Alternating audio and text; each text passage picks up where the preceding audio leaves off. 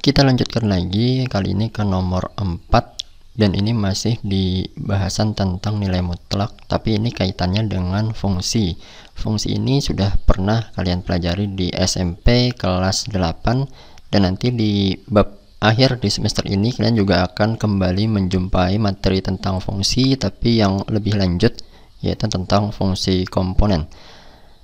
Untuk yang nomor 4 ini terkait dengan fungsi barangkali perlu Bapak sedikit ulang ya tentang fungsi. Jadi yang namanya fungsi itu bisa dikatakan adalah peubah dari suatu daerah yang disebut daerah asal dan daerah asal ini setelah memasuki atau dimasukkan ke peubah atau ke fungsi tadi, maka dia akan menjadi masuk ke daerah hasil.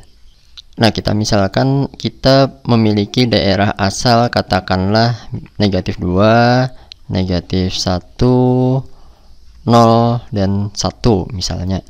Kemudian kita juga punya fungsi atau paubah misalnya 2x plus 1. Nah, jadi anggota di daerah asal ini nanti setiap anggotanya ketika dimasukkan ke dalam fungsi atau ke peubah ini dia akan berubah menjadi bilangan lain yang itu nanti masuk ke daerah hasil.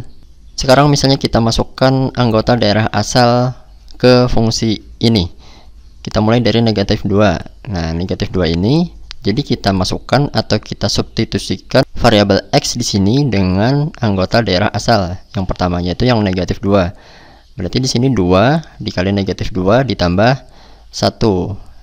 Hasilnya adalah negatif 3. Nah, sekarang misalnya anggota daerah asal yang lain negatif 1 kita masukkan ke fungsi ini. Hasilnya adalah negatif 1. Nah sekarang anggota lain misalnya 0 kita masukkan ke fungsi ini. Jadi X nya kita substitusikan dengan 0 2 dikali 0 hasilnya 0 ditambah 1 maka diperoleh hasilnya adalah positif 1 dan terakhir misalnya yang 1 kita masukkan ke fungsi ini. X nya kita substitusikan dengan 1 jadi 2 dikali 1 plus 1 hasilnya adalah positif 3 nah seperti ini jadi fungsi itu adalah suatu peubah yang mana dia memiliki variabel paling sedikit satu variabel dan nilai variabel itu bisa berapa saja tergantung daerah asalnya. Nah, sekarang kita kembali ke soal.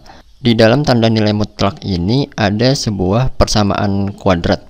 Tetapi kalau kita lihat soalnya secara keseluruhan di ujung ini ini ada tertulis untuk x sama dengan negatif 3 Nah, ini menunjukkan bahwa variabel x di persamaan kuadrat ini ini bisa menjadi suatu fungsi yang mana x-nya itu bisa disubstitusikan dengan nilai negatif 3.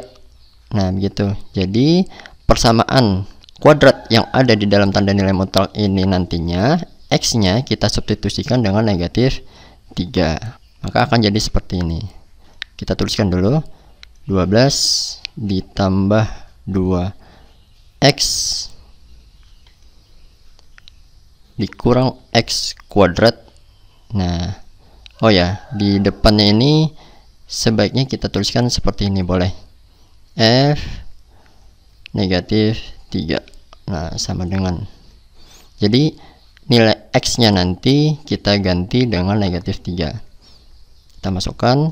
Ini mutlak 12 ditambah 2 nah X nya kita ganti dengan negatif 3 kemudian dikurang negatif 3 kuadrat. Dan jangan lupa ditutup dengan tanda mutlak lagi. Kita lanjutkan. Mutlak 12 2 dikali negatif 3 adalah negatif 6 kemudian negatif 3 dikuadratkan adalah positif 9 tapi di depannya ada tanda kurang lagi ya. Jadi di sini kita tetap tuliskan dikurang 9 nah sama seperti di soal yang sebelumnya kalau ada operasi hitung di dalam tanda mutlak itu kita selesaikan terlebih dahulu. Maka ini menjadi 12 dikurang 6 dikurang 9 hasilnya adalah negatif 3 nah mutlak dari negatif 3 adalah positif 3 nah seperti itu ya. Jadi nilai mutlak yang ada seperti ini karena di ujungnya ada keterangan untuk x sama dengan negatif 3 berarti variabel x nya kita substitusikan dengan nilai negatif 3 kita lanjut ke nomor selanjutnya. Nah nomor 5 penulisannya sudah lebih nampak sebagai sebuah fungsi.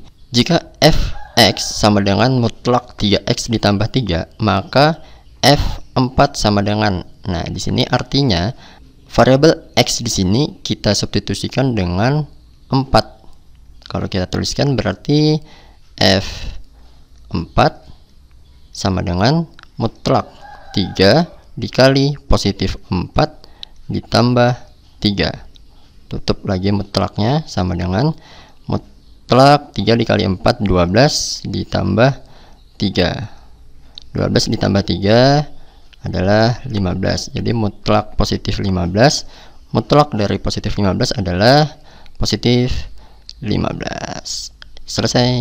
Gampang ya. Nomor 6 akan dibahas di video selanjutnya